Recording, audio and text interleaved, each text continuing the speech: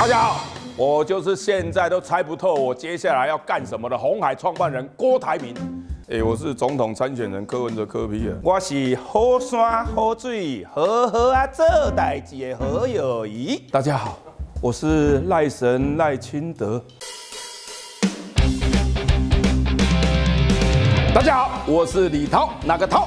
涛卡派铁涛。欢迎收看二零二三全民呃大剧团啊所演出的仁爱路六号的舞台剧。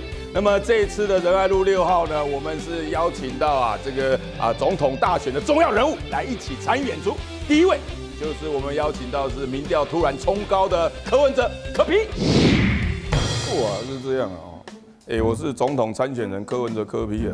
哎，讲到这个民调，说实在啊，最近啊，我也担心啊，这个民调太高啊，网军会出重手打我。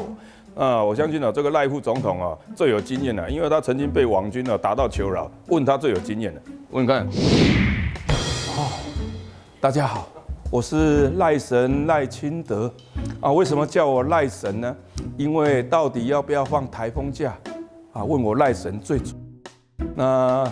最近呢，只是没有台风，只有台风尾啊。最近 Me Too 啊事件一直连环爆，很多人都被扫到台风尾。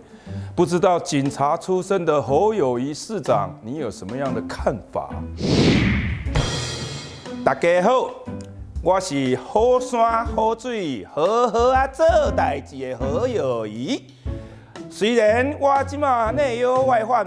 民调排名上不位，但是大家担心我会不会被换掉？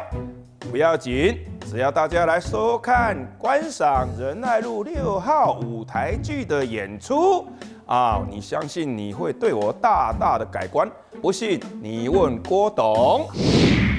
大家好，我就是现在都猜不透我接下来要干什么的红海创办人郭台铭。仁爱路六号会演什么？我也猜不透啊，因为导演会配合实施啊改剧本，说不定我会当场宣布独立参选总统。李涛，你认为呢？